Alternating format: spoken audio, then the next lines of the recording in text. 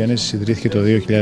2015 και είναι η πρώτη οργάνωση που εργάζεται με στόχο την ανατροπή του κλίματος υπογεννητικότητα στην Ελλάδα. Σήμερα λοιπόν έχουμε την τιμή να παρουσιάσουμε την πρώτη μεγάλη έρευνα της Hope Genesis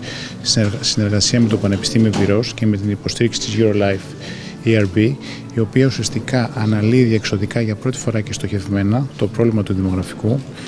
δείχνει ότι το πρόβλημα έχει πολύ περισσότερες πτυχές, είναι πολύ βαθύτερο, είναι τελείως διαφορετικό, για παράδειγμα, σε σχέση με τις γεωγραφικές περιοχές στις οποίες προκύπτει. Άλλο πρόβλημα έχει η Ελληνίδα η οποία ζει στην Αθήνα, άλλο πρόβλημα έχει η Ελληνίδα που ζει σε ένα νησί και άλλο πρόβλημα έχει η Ελληνίδα η οποία ζει σε μια ημιαστική περιοχή. Και προσπαθεί μέσω αυτής της ανάλυσης να καταγράψει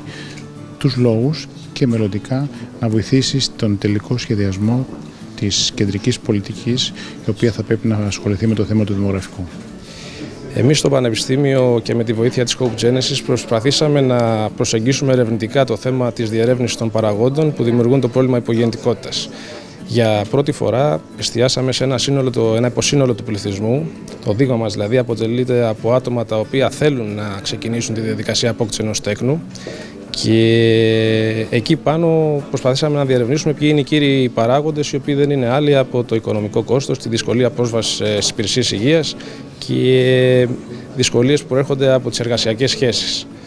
Οι προηγούμενες μελέτες είχαν εστιάσει σε άλλου είδους ε, δείγματα του πληθυσμού, γενικότερα βγάζανε κάποια επαγωγικά συμπεράσματα διαφορετικού τύπου που δεν είχαν την αντίστοιχη διασπορά που έχουν τα δικά μας συμπεράσματα που καταλήξαμε και βρήκαμε μεγάλες αποκλήσεις σε ό,τι αφορά τον παράγοντα γεωγραφική θέση των, ε, της εστίας των ζευγαριών και όπου μένουν, οπότε εκεί πρέπει να δημιουργηθούν και αντίστοιχες πολιτικές βασισμένες σε αυτά τα ποσοτικά στοιχεία που έχουμε γράψει στην έρευνά μας και οι οποίες θα πρέπει από τους ηθήνοντες και από τους αντίστοιχους ε, ε, ασκούντες στην πολιτική να διοχετευθούν και να εφαρμοστούν για το καλύτερο της Ελλάδας, του πληθυσμού και του γηγενούς πληθυσμού. Είναι χαρακτηριστικά τα στοιχεία τα οποία έχουμε βγάλει. Είναι σε μια συνεργασία με τη Hop Genesis γιατί λάβαμε το αρχείο που έχει η Hop Genesis, τα στοιχεία που έχει από τις ε, νησιωτικές, υπηρετικές, ημιαστικές περιοχές και εκεί βλέπουμε μια διαφοροποίηση του τρόπου με τον οποίο και στις προτάσεις μας δηλαδή θα μπορεί να αντιμετωπιστεί το φαινόμενο αυτό όπου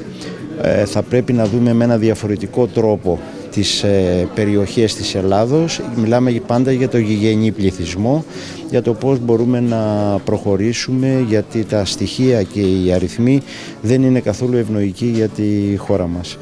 Είναι απαραίτητες οι συνέργειες και οι συνεργασίες μεταξύ της πολιτείας βεβαίως, που πρώτη από όλους πρέπει να ασχοληθεί με το ζήτημα και να θέσει πολιτική προτεραιότητα την αντιμετώπιση του δημογραφικού της υπογεννητικότητας, αλλά χρειάζεται και η συνεργασία και οι συνέργειες με την επιστημονική κοινότητα και βεβαίως με τους ιδιωτικούς φορείς. Ένας τέτοιος φορέας είναι η Hope Genesis με